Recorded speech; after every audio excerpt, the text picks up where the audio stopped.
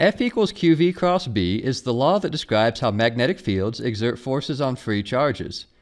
And it certainly has applications, but there's another version of the law that shows up more often in day to day situations.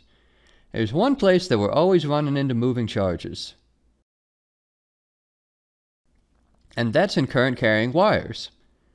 In current carrying wires, you have big collections of moving charges, and so if you subject the wire to some magnetic field, all those moving charges will feel forces that sum up to one big force.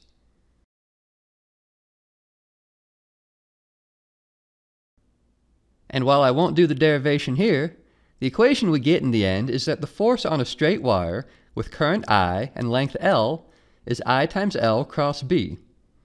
Note that we're writing L as a vector, and the direction of that vector indicates the direction that current is flowing. And in the event the wire isn't straight or the B field isn't uniform, the law also comes in a differential form.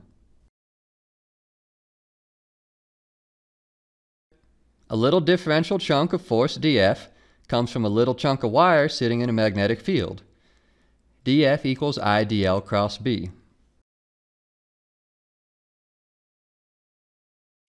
An interesting side effect of this law is that since currents make magnetic fields, and also feel forces because of magnetic fields, current carrying wires exert forces on each other. For example, if you have two wires running parallel to each other, carrying currents in the direction indicated, the left wire will make circular field lines. which point downwards in the vicinity of the other wire. Doing a little right-hand rule shows us that the second wire ends up feeling a force to the left, attracting it to the first wire. And working things out in the other direction shows that the first wire feels a force to the right because of the field made by the second wire. Or to sum up, parallel currents attract one another. And if you flip one of the currents relative to the other,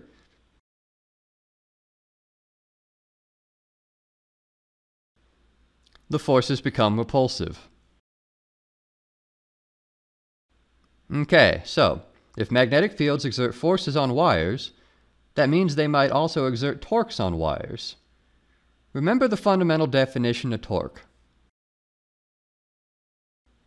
d tau is r cross df, where r is the distance between the axis of rotation and the place where the force is being applied.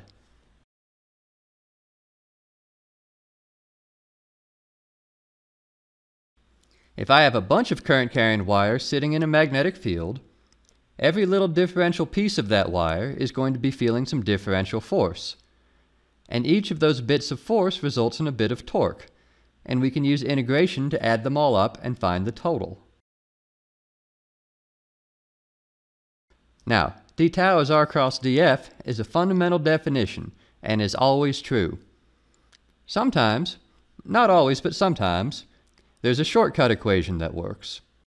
If what you have is a current wrapped around in a closed loop, like this one, the fundamental torque equation can be used to derive the following. The net torque on a loop, tau, equals mu cross b, where b is the magnetic field and mu is what's called the magnetic moment of a loop of wire. Mu is defined as the current times the area vector for that loop. This equation only works if your actual current forms a closed loop. It's not enough that the wire be in a loop shape. So this counts, and this counts, but this doesn't count. The current doesn't go around in a closed loop, so the loop equation isn't guaranteed to work. So, now we know how to use magnetic fields to exert forces and torques on current-carrying wires. As it turns out, that ability leads to an awful lot of our modern technology, including but not limited to mundane things like electric motors and more exotic things like railguns.